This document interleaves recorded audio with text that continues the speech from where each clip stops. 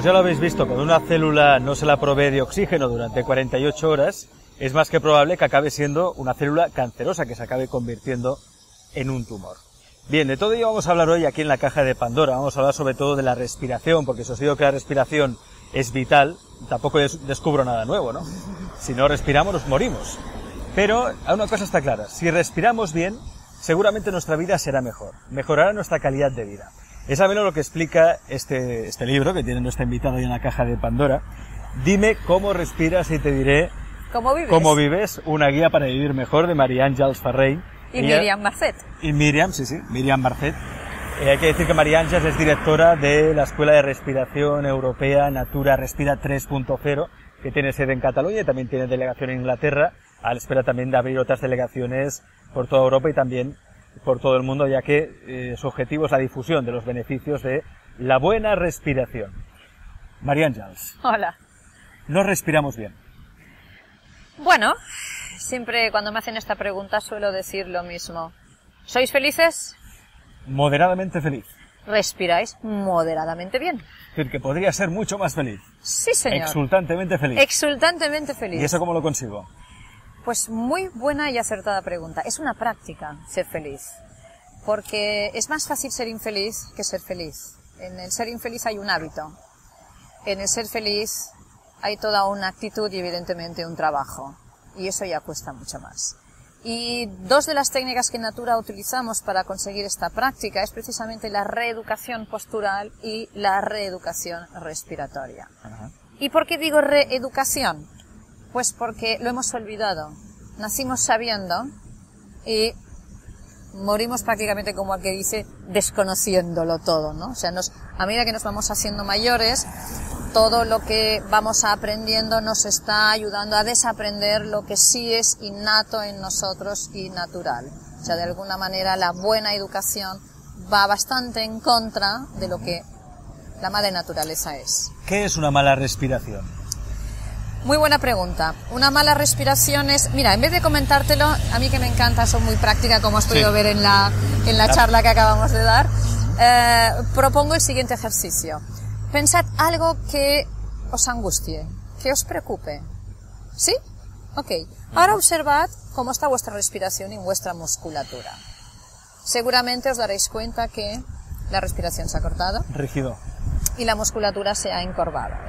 Esto demuestra el que un eh, pensamiento comanda una respiración y esta respiración a su vez comanda una postura corporal, es decir, todo, todo lo que es mi musculatura se encoge ante el miedo. Ese miedo es el que hace que evidentemente yo tenga una respiración insuficiente, una oxigenación corta. Si ahora cambiamos el ejemplo y decimos, bien, piensa algo que te guste. Gente que te dé buena energía, personas a las que ames, espacios que te, que te, que te llenen de paz y de tranquilidad. ¿Sí? Observa ahora qué ha pasado con tu respiración y la musculatura. Mucho más fluidez. Se ha relajado. Exacto. Se ha estirado, ¿no? Exacto, exacto. Eso es lo que nos indica si yo tengo una buena respiración. Es muy simple. De tan simple que es, se nos hace difícil entenderlo. Bueno, seguramente oiréis algún sonido, algún ruido de coche desnormal porque estamos ahora mismo justo enfrente de la feria Ecosí, donde María Ángels Ferrein eh, está presentando su curso de formación para respiradores, ya que, y los lo decíamos, no solo divulgan los beneficios, sino que también está formando a personas que quieran también explicar a otras personas cómo respirar mejor. ¿Hasta qué punto eh, María Ángel respirar mejor nos puede ayudar no solo a tener una, una, buena salud, sino también a mejorar nuestra relación con el trabajo, eh, con la empresa, incluso a ser más prósperos, ¿no? Incluso a tener más dinero. ¿Se puede relacionar? Sí, sí. Si respiro bien, tengo más dinero. Bien, eso tan simple, no. Yo cambiaría dinero por abundancia. Si respiro bien, significa que soy feliz. Si soy feliz y hay abundancia de todo. ¿Por qué? Pues porque cuando no soy feliz, me hace falta el aire, me hace falta el espacio, me hace falta todo. Por lo tanto, lo más seguro es que tampoco la abundancia nos acompañe. Entonces ahí hay todo un cuadro emocional de la persona, una víctima, por decirlo, por decirlo de alguna manera. Y esa víctima no irá a hacer negocios pensando, voy a ganar, sino que irá con el, ay, voy a uy, perder. voy a perder, ¿qué pasará? ¿no? Entiendo. Todo eso hace que nuestra respiración se quede a nivel del plexo solar. Se ha cortado. No solo respiración, es también la postura, Exacto, ¿no? se encoge.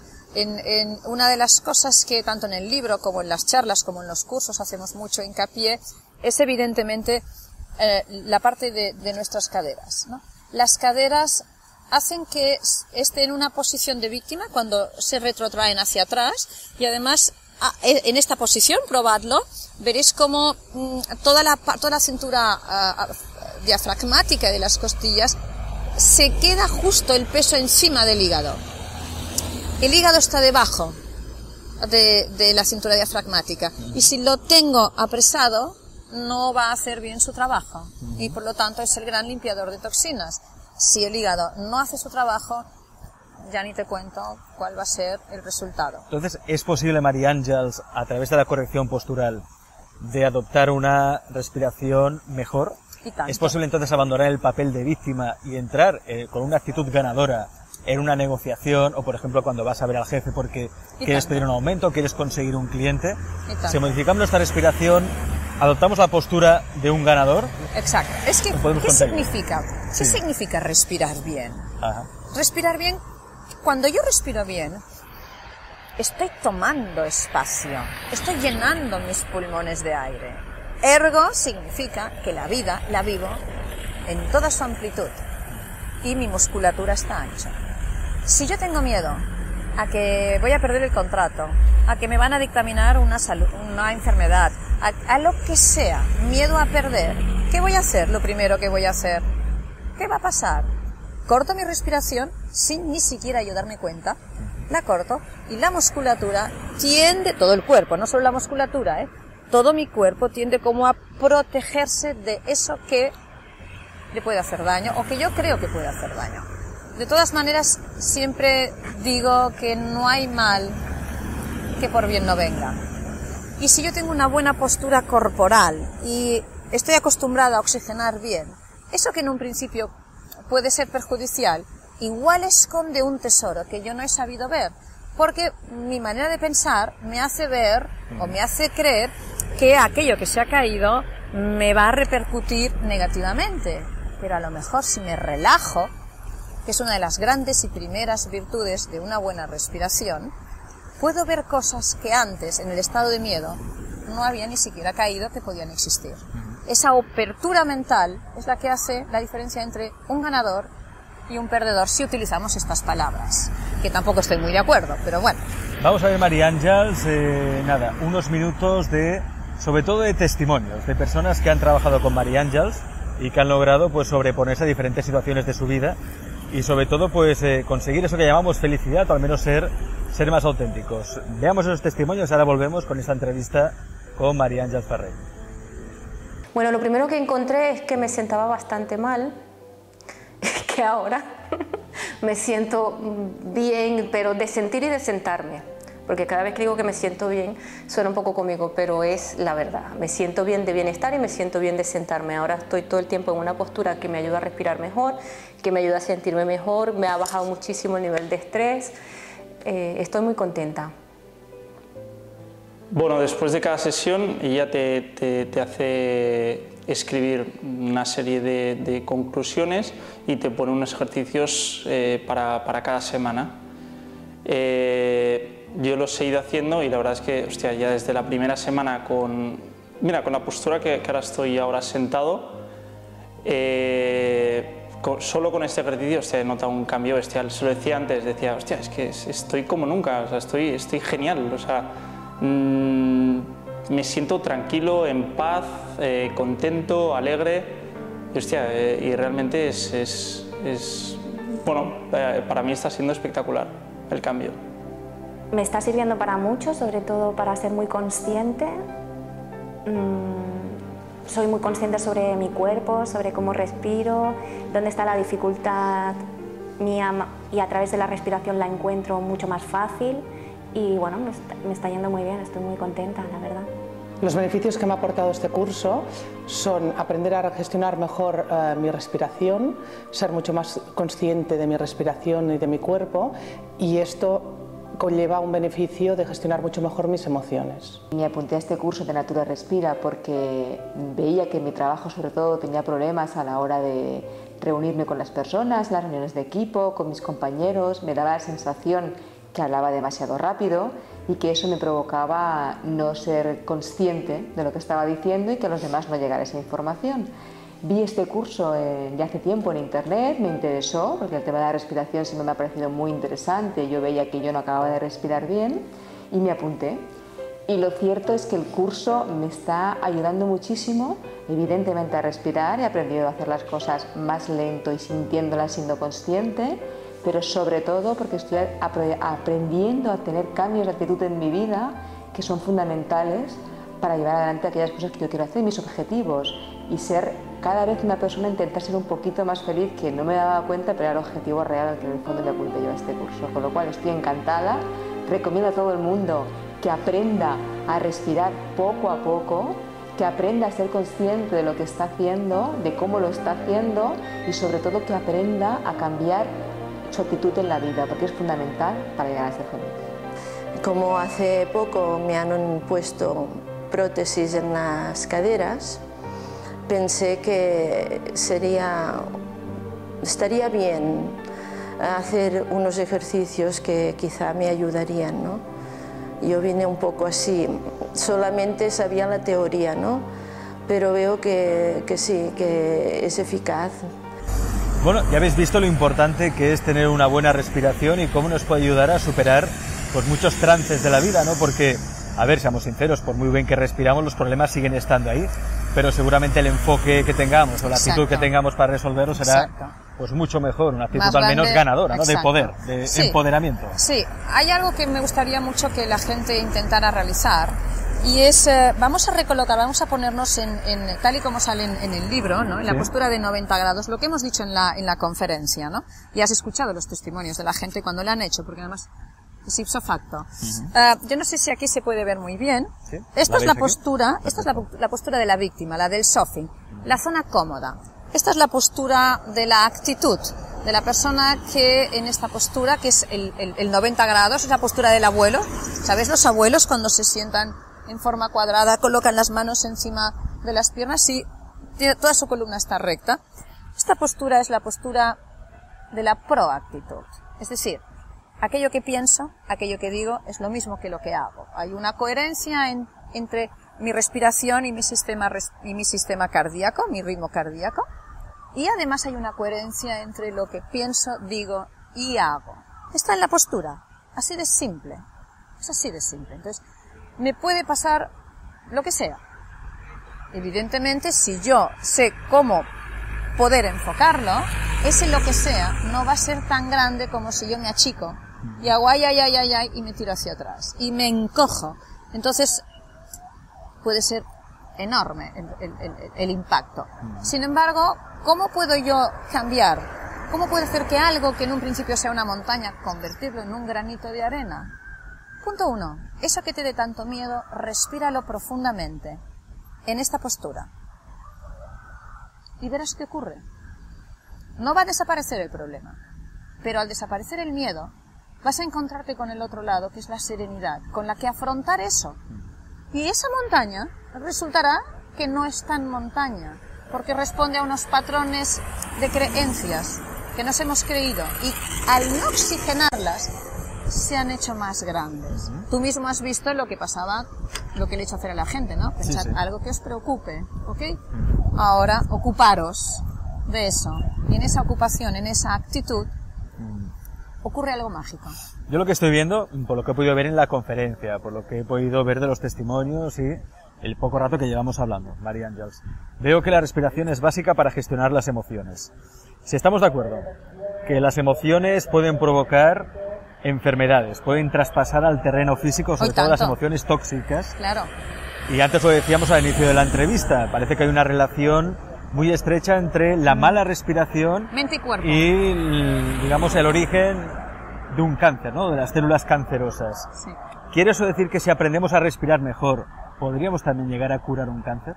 Es que si aprendemos a respirar mejor, aprendemos a vivir mejor.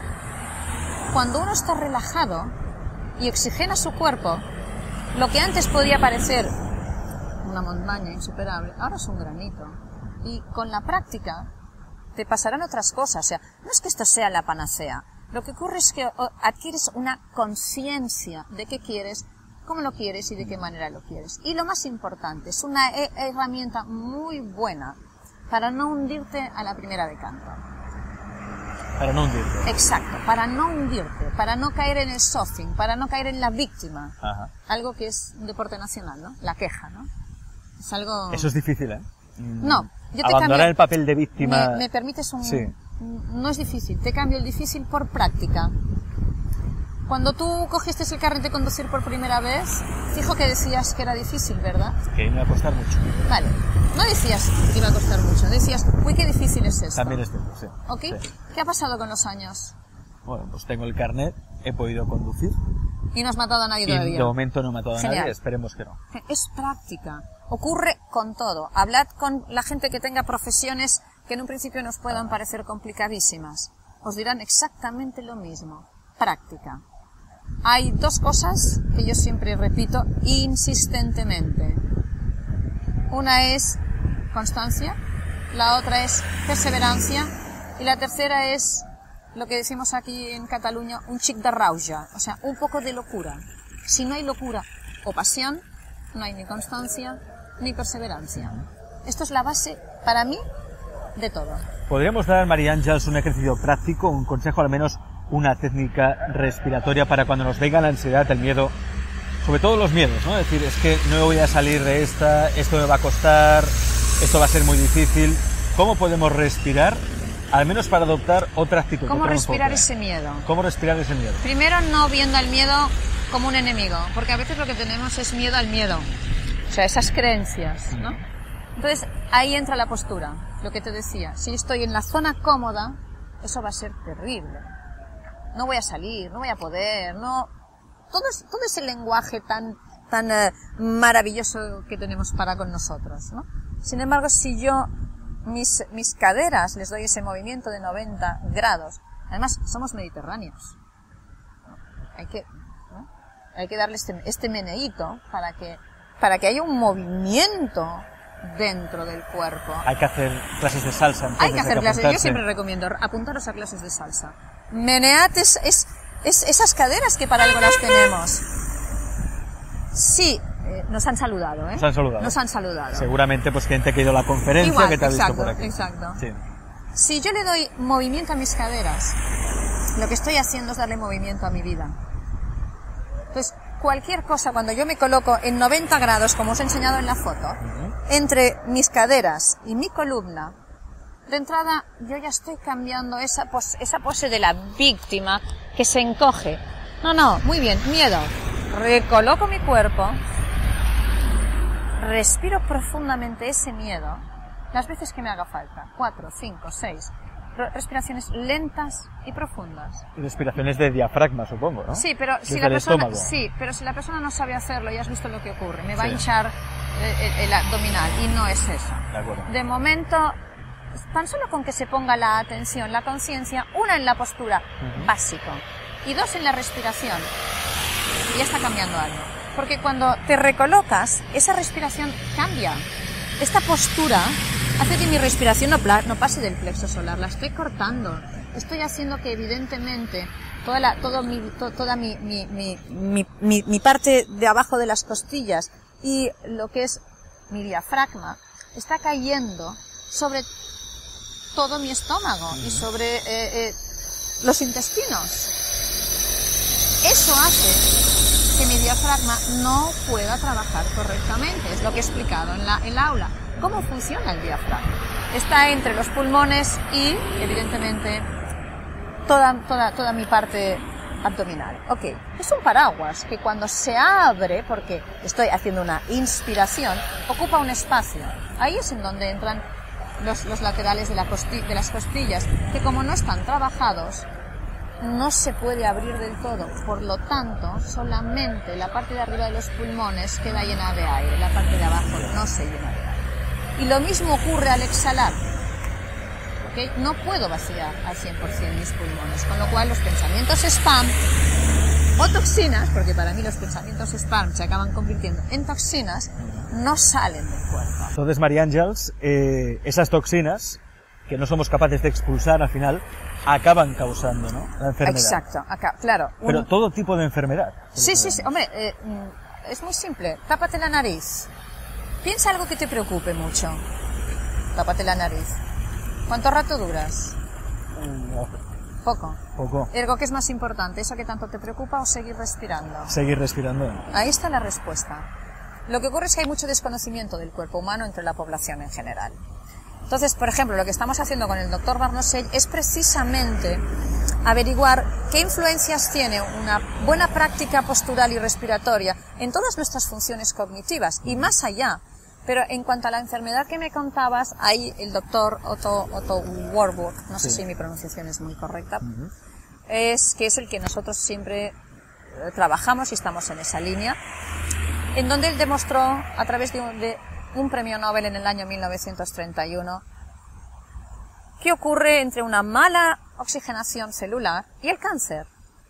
Las células killer o macrófagas se reproducen muy bien en organismos mal oxigenados. Pero es que es normal, donde no hay vida. ¿Qué ocurre cuando no hay oxígeno? No hay vida. ¿Qué ocurre cuando no hay vida? No nada. Necrosis, muerte. Exacto. Esa es la importancia de una buena respiración. ¿Qué significa oxigenar? Básicamente, significa vivir. Significa ser consciente de que tienes un poder interno que no lo estás utilizando. Por pereza, por desconocimiento, por lo que sea. Desde luego te aseguro, por propia experiencia también, que es mucho más fácil ser infeliz que ser feliz. Antes María Ángeles hacía referencia al doctor Barnosell, el doctor Sí. Francisco Barnosell, autor también de un libro muy interesante que os recomendamos, Entre dos aguas. De hecho, es el primer médico que oficialmente eh, aboga por las medicinas espirituales o piensa al menos que la medicina espiritual eh, puede sanar enfermedades, ¿no? Que hay, hay una conexión mucho más íntima entre el cuerpo y el espíritu. Eh, Háblanos un poco de esta experiencia con el doctor Barnusey, qué tipo de experimentos, ejercicios estáis haciendo y qué estáis demostrando con todo eso. Bueno, es un proyecto, todavía no hemos empezado. Es un proyecto. Es un proyecto.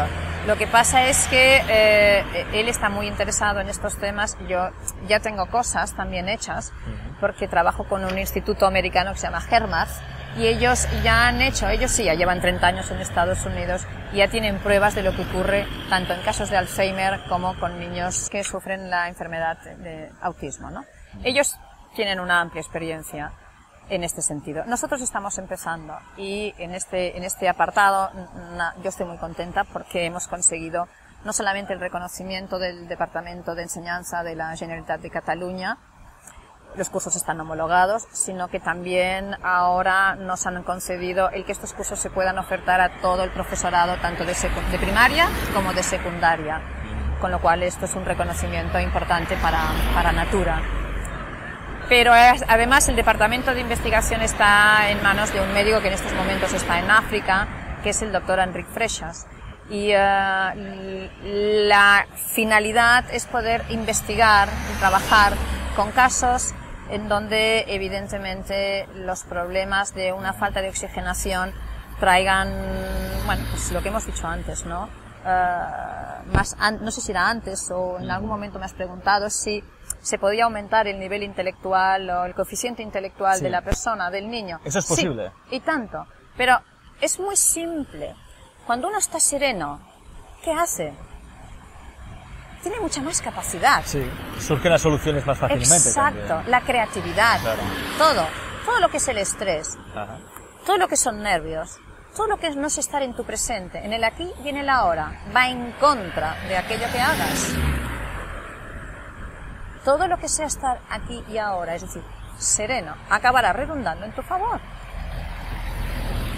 Fijaos lo importante que es la respiración, una técnica tan sencilla, herramienta tan sencilla como es respirar, que esto lo, lo hablábamos antes con María Ángeles, ¿no? Que cada día salen terapias nuevas, técnicas nuevas, y a veces tenemos más un lío mental que otra cosa, ¿no? En cambio, a través de la respiración, que ya la llevamos de serie, ya la hemos incorporada desde que nacemos, fijaos todo lo que podemos eh, mejorar en nuestra vida. Yo lo que recomiendo es que entréis en la página de Natura Respira, que es... naturarespira.eu de Europa. ¿Sí?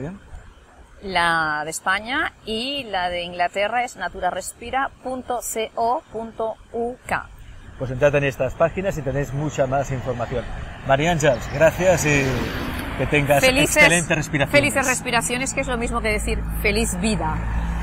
Mucho gusto. Gracias.